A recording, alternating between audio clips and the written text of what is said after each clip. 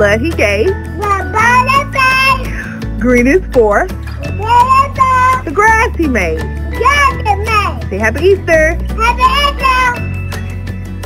So the sun so bright. Orange for the answer now. White is for his days remain. White is for his race today. Purple is for his hour of song. For our intimate. Jesus came to show us how to live and love on earth right now. Then he died to erase our sin. So the pearly gate will let us in. Raised from death, Jesus our guide through our own death to the other side. Believe in Jesus and you will be written in the book of eternity. Easter means in heaven, life, free from sadness, free from strife. If your name is in God's journal, you're assured of life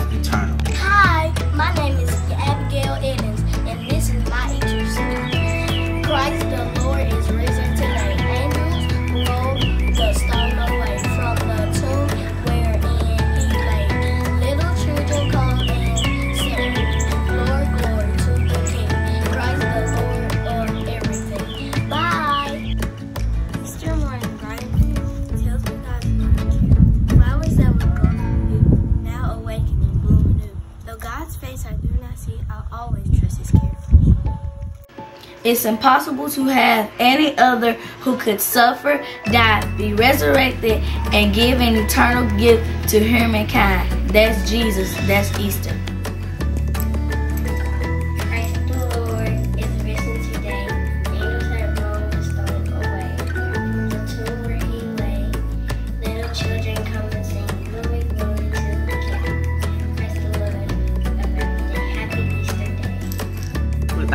There would be no hope of heaven. Without the hope of heaven, there would be no picture, no personal, no transformation, no attempt to follow biblical principle. Without Easter, the world would be in chaos and darkness. Jesus' death and resurrection means we can reborn to live better, to do better, to shine light into the shadow. Hallelujah. Happy, happy Easter.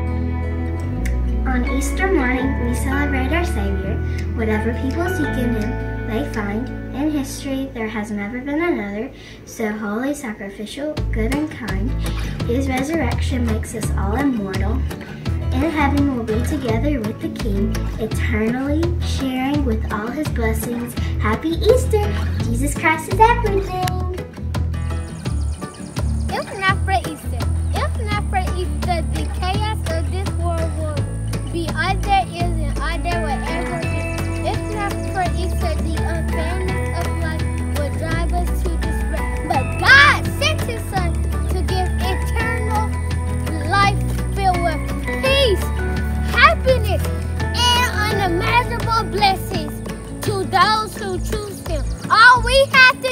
To do Him. Happy, happy Easter!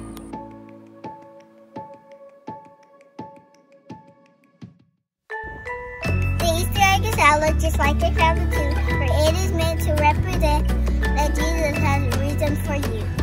Good morning, Kingdom Vision International Church. My name is Jay, and, my, and right here beside me is my sister, Lori. Today we're going to be saying a special speech about uh, the resurrection of Jesus who died on the cross for our sins and saved us from going to hell. The Lord praise the Lord. God sent his son to take the punishment for all the thoughtless, sinful things we do. Jesus gave his life because he loves us. His love is boundless, sweet, forever true. On Easter morn, Jesus shows that he is our Savior. His resurrection proves he is our Lord. That is all we tell you Happy Easter. He secured out heaven's reward. Happy Easter. Here we are. Happy Easter. Jesus rose on Easter Day. The angel rolled the stone away. He conquered death upon that day. He lives again to show us the way. Happy Easter. Jesus Christ is everything.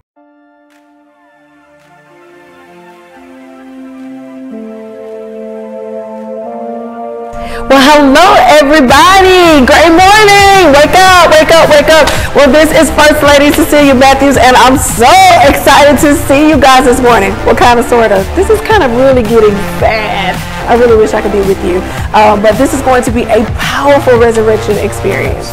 Are you excited, babe? I am very, very excited. And I'm very excited about all of you that have gotten up extremely early for this worship experience. Uh, we know that we had some saints that are accustomed to sunrise services. So Ooh. hopefully you got your rice and your, uh, your breakfast or whatever you're going to eat this morning and you're ready for a powerful, powerful uh, Sunday morning resurrection experience.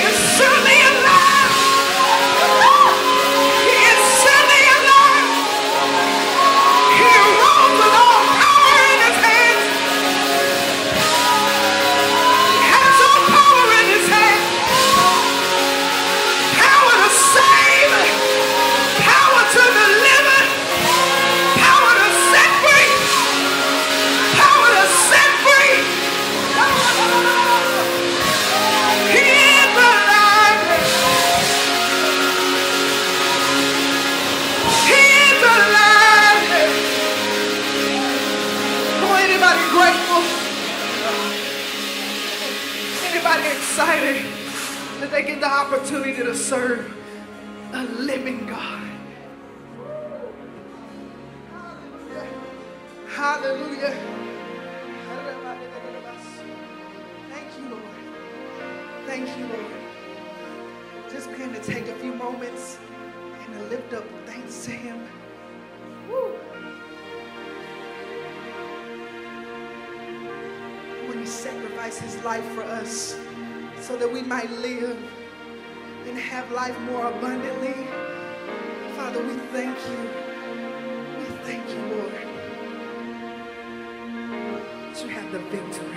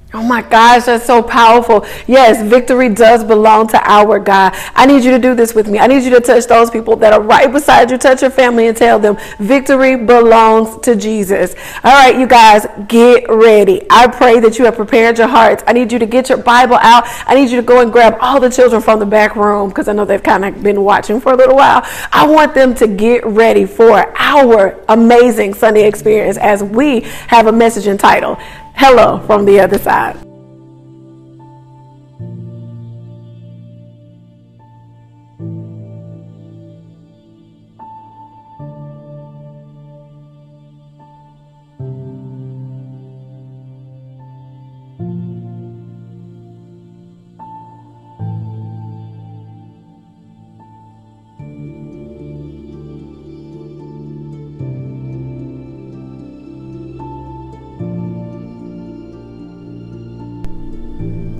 Every person has a story to tell.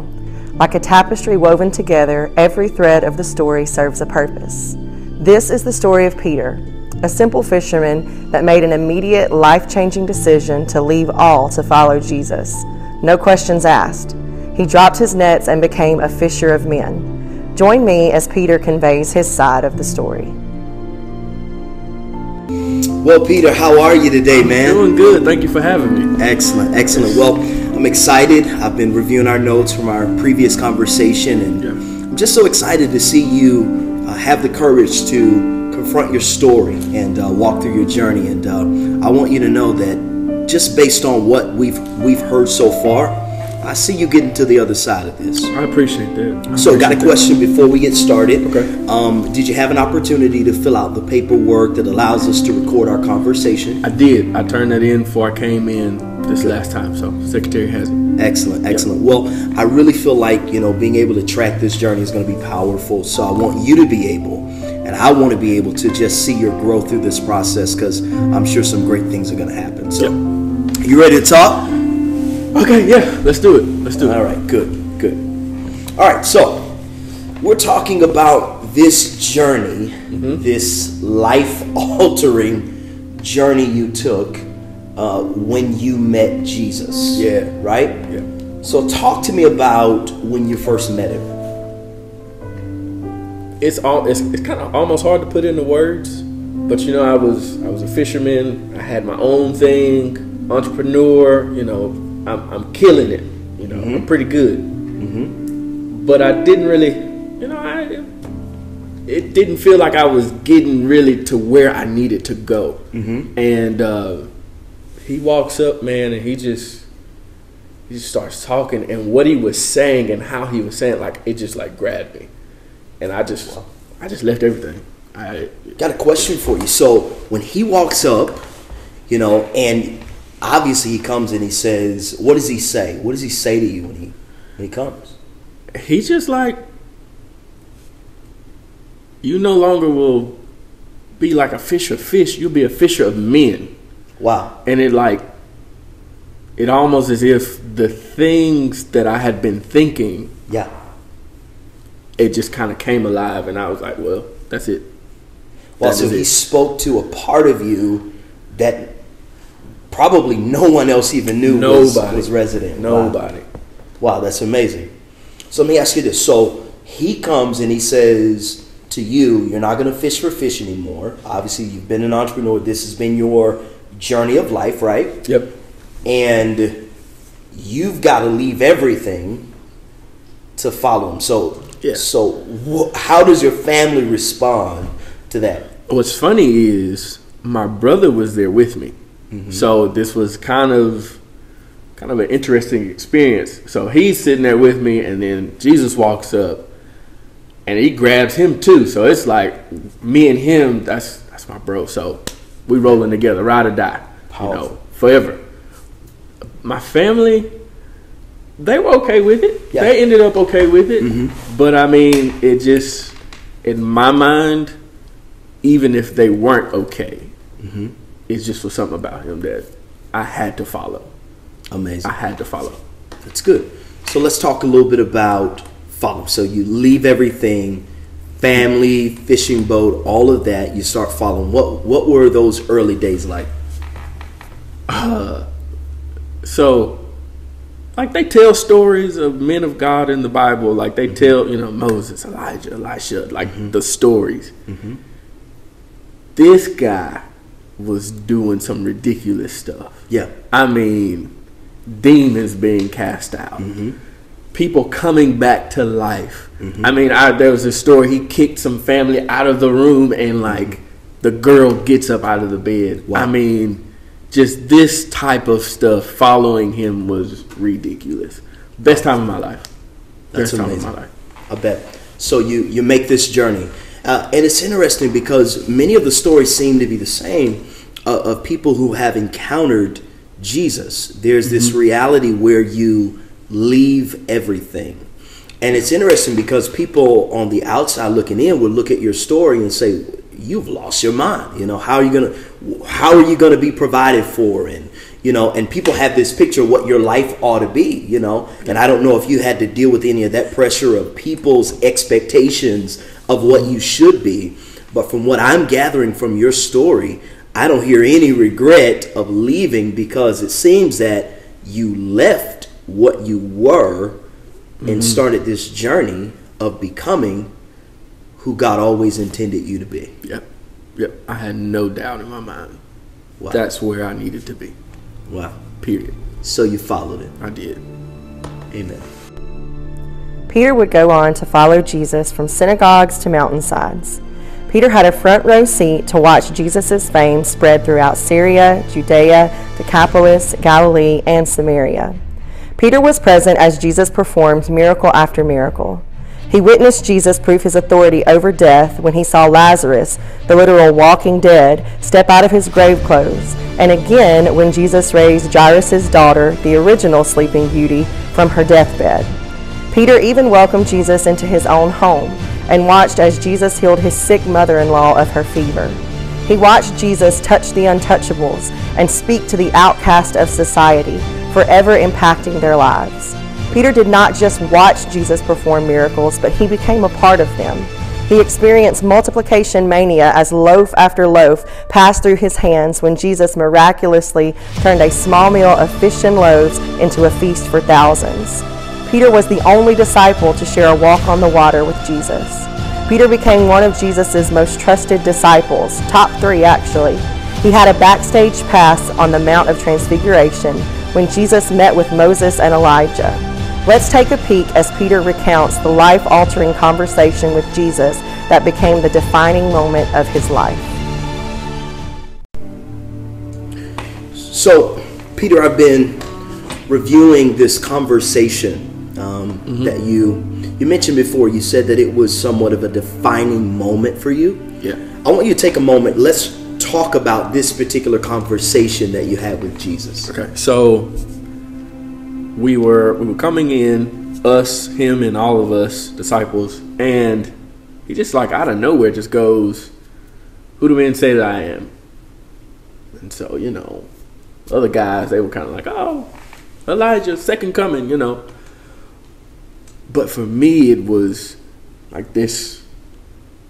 Like I just knew he was the Christ. Like mm-hmm. you're just not anybody. You are the Son of the Living God. Wow. And out of that conversation, though, I had never had this happen before.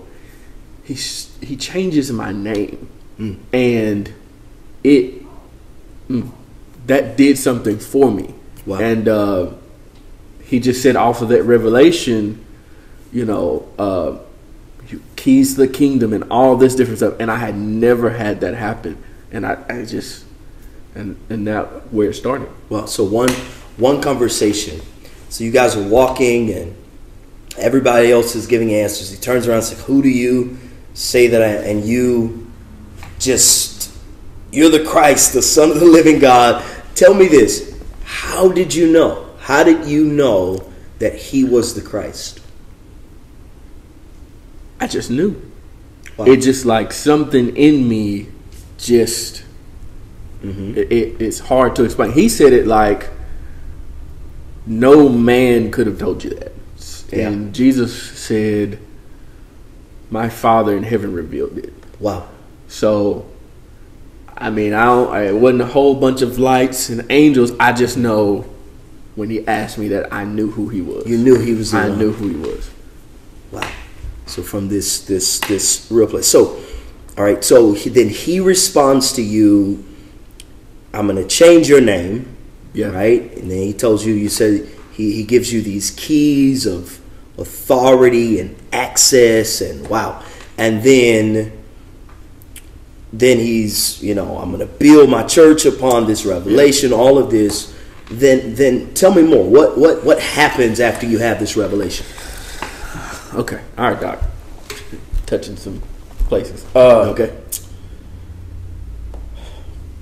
It take it takes a weird turn Mm-hmm. at that point. Um, he then his his he starts changing a little bit. Mm-hmm. He starts talking about how he's going to be offered up Mm-hmm. and how he was going to be treated once we got into Jerusalem. Well. And I didn't take too kind of that. Okay. And to be honest, I rebuked him. Mm. I I had something to say about it. The Christ. Yeah, like I I know that sounds bad, but I Okay. had something to say. Like, no, no, no. Mm-hmm.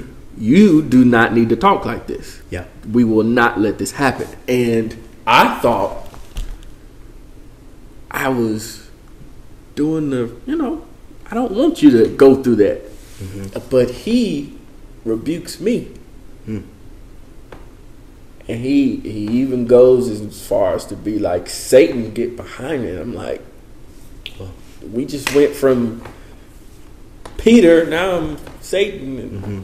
I got it wrong, and it that was tough. So let me ask you this: when when he rebukes you and and says, "Get thee behind me, Satan." Now he's mm-hmm. just giving you this new name, right? Yeah. And and he rebukes you, and I, I know this is we mentioned, you know, in our previous conversation that that that was an area that was was kind of tough for you, kind of a, a tough moment where you go from this revelation to a rebuke in a matter of moments. Yeah. You know, how do you feel when he, when he says this to you? You get this rebuke. How, how do you feel? Well, it's the Christ. So this is my the guy I'm following, my teacher, my master. Mhm. The Son of the Living God calls me Satan. Wow. And whew, that does something to me. Yeah. That I don't know. I don't. I, I wasn't ready for it. I wasn't ready for that response. Like I. Yeah. I Well, know. let's let's ask this. Let's let's kind of dig into this situation. Um, what made you rebuke him? I, to be honest, I can't really put a finger on it other than just I don't want. I, he shouldn't have to go through that. Yeah. He shouldn't have had to to go through those things, and then he just it was out of nowhere. I mean, we're we're healing people. We're, he's healing everybody he walks Yeah. across, and now all of a sudden he's talking about leaving, Mm. and I just was not feeling it. I, I was not on that train. Yeah.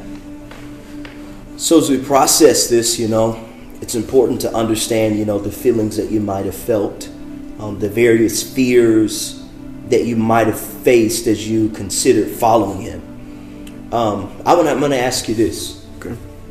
You left everything to follow him. Um, no doubt it brought criticism from many people who didn't understand it. Walked away from your occupation, uh, separated from your family. Do you think there was a part of you that feared that if I'm following him and this happens to him, then who's to stop that same kind of suffering and crucifixion from happening to me? To be honest, I I hadn't really considered that. Hmm. But I, I feel the words of you. I did leave everything. When I think back, I left everything for him. Yeah. For him to leave, that's heavy. Yeah. And no doubt that would have affected your reputation because now this Yeah. man that you've claimed to be the Christ and done all this for yeah. is now murdered at the hands of men and that would affect you. But you know, I was thinking, I'm looking back through the notes and the things that you said that he mentioned to you, he says, if, if any man is going to follow me, he says he has to first deny himself. And so it seems that he was speaking to you in that moment and saying, hey, there are going to be some parts of you that in following me, you've got to deny what you want and how you feel hmm. so that you can follow because our first law, one of our first laws is self preservation. We want to keep ourselves from pain and agony and suffering. It's like we're doing good and we're blessing people and we're changing lives. Of course, we'll never go through that. And Jesus seems to reveal to you that to follow him, you're going to have to deny yourself. And then he, remember, he says to you, and you're going to have to take up your cross. Yeah. And yeah. follow. Meaning that there's going to be a cross for every single believer to carry. There's going to be a cost, there's a price that comes with it. And sometimes we want to preserve our lives, but sometimes the only way to gain the life that is intended for us is to lose the one we have. And perhaps Jesus was revealing to you that there is a reward coming, but there's going to be a risk, and the risk is worth the reward. I understand the pressure of that. And the thought of going through that moment was excruciating. It was agonizing to see and even consider the thought that this person that you love so dearly and were following so closely was going to be crucified. But it all turns out well in the end. But we just have to embrace the pressures of the moment. While Peter would never forget this pivotal moment, he pushed it to the back recesses of his mind and continued to pursue ministry with Jesus. Then it came. The day he swore would never happen. He denied Jesus, not once, not twice, but three times.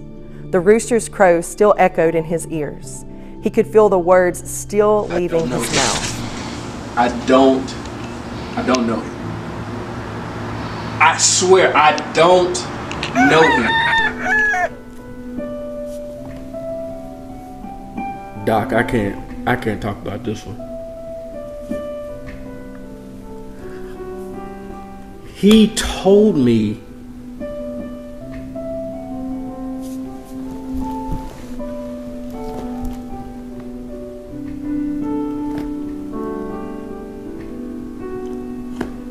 I didn't think I ever would do that. The worst mistake of my life. And I cannot get that rooster out of my head.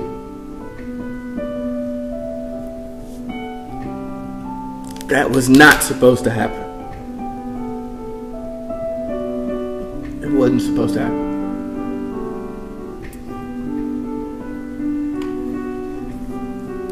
Mm. You know, Peter.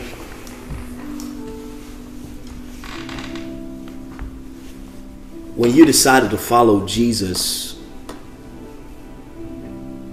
He made you a promise.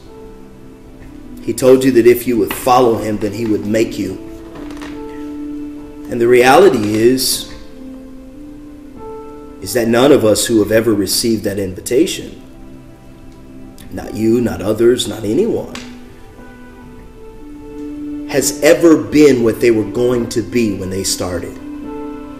And so while he made the promise, the promise came with a process. You know, and, and, and sometimes you felt like, well, I left everything. That was enough sacrifice. That was enough. But but the process involves pressure. And sometimes it is possible to be in the middle of the plan of God for your life and experience pressure. Peter, I want to say this to you because I know that that was the lowest moment of your life, but I don't want you to stay there. I want you to understand that that in that moment he he had felt the pressure of the world coming on him. And and because you're close you feel that pressure coming on you. You feel the moment my life is I say things are changing. There's there's this is a crisis. I've never seen anything like this. My world is being turned upside down, and and and and, what is normal going to be like after three and a half years of following this man? I want you to know, Peter, that that you were experiencing a pressure that that that was indescribable, a pressure that you could not have even imagined on your best or worst day, and and every single person that will be made into who God wants them to be is going to have to go through pressure. Pressure. But remember, Peter, what he said to you? He said, Peter, Satan desires to have you, to sift you like wheat. But remember what he said? I prayed for you. And he never said that he prayed that you wouldn't fail, but he said he prayed that your faith wouldn't fail. And sometimes, under the pressure of circumstances and crisis, we'll all fail. We'll all make mistakes. We'll all miss the moment. Even the strongest one. I'll never, I'll never reject you. I'll never deny you. Every one of us will encounter the right amount of pressure. We start to realize that we may not be as strong as we thought we were. You know, every promise has a price. And I want you to understand, Peter, that what you saw that day was the price that he was paying for who you're going to be and who you're going to become. You know, that price that he paid, I, I, I know that it had to be excruciating to watch him bleed in front of you. I know it had to be excruciating to, to watch that and then to know what you did. But I want you to know, Peter, it was a part of the price pain, the suffering, the anguish was a part of the price so that you would no longer have to be who you were, but you could become who He promised you that you would be. Peter is just a part of the process, it's a part of the pressure, it's a part of the price.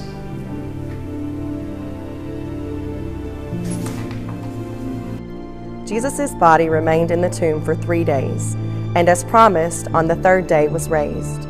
Mary Magdalene saw that the stone had been taken from the tomb and ran to tell Peter and John. They ran together to the tomb where they saw the linen cloths and handkerchief lying there, clothes, but no body. Jesus made appearances over the next four days' time, revealing and showing himself alive, speaking peace and building faith. Jesus was resurrected, but Peter was not yet restored.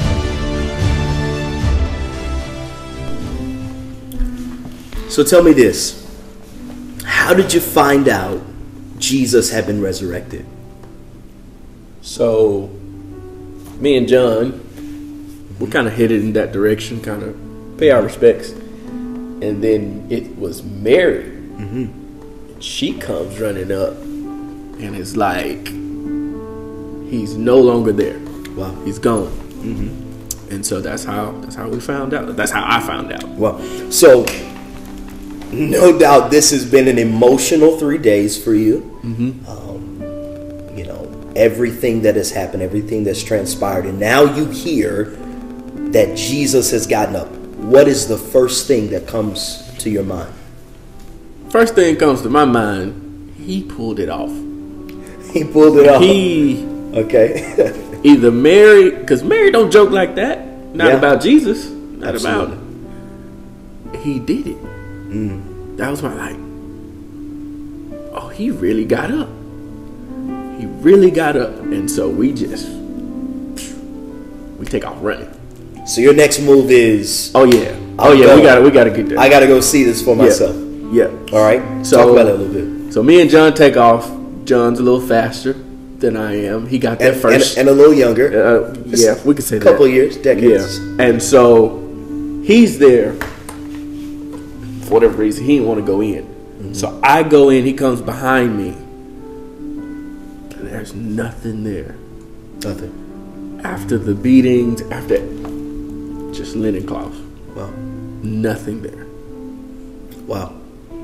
So you go to the tomb what is going through your mind as you are standing in this empty tomb where you know he was laying and he's not there? What's going through your mind as you stand in the empty tomb? My first thought was, yeah, yes, Yeah. he's back. Wow. But then my second thought, never got to talk about what I did. Um, when he rebuked me, we kind of got over that. But we never got, he prophesied about me denying him, and we, we never got a chance, I never got a chance to get that right. Wow. And that was my first thought. Like, I, I, I don't know. Yeah. So you, see you don't him. Really don't know, know. where you stand. I don't know. Because the last time you've seen him is that look that he gives as you've denied him. Wow. Hmm. And so, after this moment, obviously, you know, we, we know that he is gone and he's revealing himself and he's walking into, getting, coming into rooms without walking through the door, climbing through the windows and all of this. And so, while he's showing himself alive to everyone else, obviously, it sounds like there's still a void in you. There's still this Yeah. Discomfort you're feeling because you've not quite addressed this breach in your relationship with him. Yeah. So then what happens for you? So I know this may seem weird. I just went back to fishing. Hmm. I, I, it was what I was good at. Mm-hmm. At least I thought. Yeah. That's all I, my mind. That's all I had left. Just Wow. go back to fishing. Wow. You know, it's not really un- uncommon in moments where our lives are in an uproar, we're experiencing pressure, we're dis- dissatisfied, unsettled in our souls, to go back to what we're comfortable, what's common to us, or even sometimes what we think gives us a semblance of success, right? And so sometimes fishing is not really about fishing as much as it is I've lost everything I love, so let me go back to something that gives me a win. For for some people it's not fishing, for some people it's it's it's alcohol. For some people it's uh, relationships. For some people it's other habits and other struggles in their lives um, that is kind of the thing that they go to to somewhat medicate the pain, feel the void. It's like, all right. And, and sometimes when we don't see a future, we revert to our past. Right? Yeah. So you go fishing, and are you by yourself, or do the other guys go with you? Uh, the other guys are with me. You know, I take my brother. Yeah. He goes with me, so we we just go back out. Wow. Just go back to it, and um, Why do you think they went with you? Because they didn't have the exact same situation, right? I mean, uh, you know, leading maybe. Mm-hmm. I don't know. Maybe it seemed like I was really confident in it. Mm-hmm. Not sure. Gotcha. They just Or perhaps you're a leader, and even at your lowest point, you're still a leader. Yeah. Or perhaps you had some brothers who really love you. Mm. Perhaps you had some brothers who saw beyond the smile. Said, man, Peter's in a struggle right now. You know, because sometimes when we're in that uncomfortable place of personal crisis, we need some people who will just keep us company. Like, they don't have to have all the answers, they don't have to figure it all out, but sometimes I just need some people, everybody. And, and I just think you're blessed that you have brothers with you. I agree. you know that would go. So all right. So you you go back to fishing. All right. You guys are out there on the water. Mm-hmm. Tell me about that. Tell me what happens. So we're out there. You know, this is my thing. Mm-hmm. Started my business there. Started entrepreneuring and all that good stuff. And this guy mm-hmm. just, hey, y'all catch anything out there? You know. Mm-hmm. And I'm like, no, we ain't caught nothing all day. Wow. You know, it's a waste of time. We ain't caught nothing. Mm-hmm. And then John goes, it's Jesus. Hmm. So that's all he had to tell me. Mm-hmm. you know, I had kind of, you know, fixed myself up to go fishing. I put on my shirt, all that good stuff, and I just jumped straight in the water. Yeah. I, I, bet, I bet it reminded you of the first time you met him. Yep. Yep. When you had caught nothing. Mm. But yet he comes, gives one instruction, changes the outcome of your life. So you jump out. What? I, yeah, I just jumped straight in the water. I'm like, and you're headed forget to the boat, forget the fish. Wow. I get to. This is my shot. This is my time. Yeah. To make it right. To make it right. And then what happens? Uh, so I get there. Oh, now I'll, I'll be honest. He started asking me some questions I'm not really sure, even to this day, yeah. what all it kind of meant or why he even asked me those series of questions. But he just kept asking, "Do I love him? Yeah. Do I love him?" And uh, and then you would you would answer, I, "Yes, of course I love him." And he did it like three times, and then I'll be honest. That last time, I was like, "Listen, you, you Jesus, you know all things. Yeah, of course you know I love you. Like, wow, yeah." And you know, it was a little frustrating, but I want to speak to that just for a moment. You know, um, I first of all find it fascinating that he knew where to find you. Mm-hmm. That when you went back to fishing, he knew where to find you. Um, it's interesting how Jesus always knows where to find you. Um, that thing you want to go back to, he'll find you right there in it. That thing you want to run and retreat to, he'll always find you in it. But then, you know, I've been, I've had a few moments to look through the questions that he asked you, and I, I reviewed your answers. And he asked you, Peter, do you love me? And you say, Yeah. You know I love you. And he says, will feed my sheep. And in other words, he's you're thinking about your failure and he's thinking about your future. You're thinking about what you did wrong and he's saying, but Peter, you can make this right. I still have a plan for you. Then he asks you again, do you love me? He's like, Lord, I love you. And and like you said the third time he asked, but I don't know if you noticed, but the last time you said it was different than the first two times you answered. Because when you answered the first two times, you were saying, Yes, Lord, I, you know, I love you like a friend. I, I like you. Like this is, you know, but but sometimes that level of love can't stand the weight of crisis and pressure. But you know, the last time you answered, you said, I love you. And that was a different kind of love. That was a love of commitment. But you, you, you need to understand that that level of love didn't come from you that level of love that you spoke from is not even possible until you realize how much he loves you. Mm. Peter, Jesus was never surprised by your failure. He knew that in you, just like in me, is not an ability to keep our commitment. And Peter, he couldn't trust you with your ultimate calling until you knew it wasn't you keeping your commitment to God. It was the fact that He was going to keep His commitment to you.